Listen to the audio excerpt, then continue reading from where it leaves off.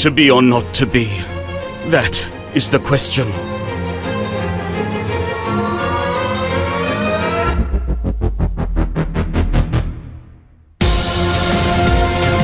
To be or not to be?